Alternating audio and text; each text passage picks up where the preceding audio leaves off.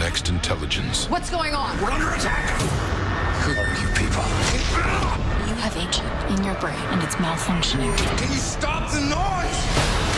The longer he's like this, the less chance we have of getting him back. Put the gun down. We're friends. You're not a killer. You intelligence.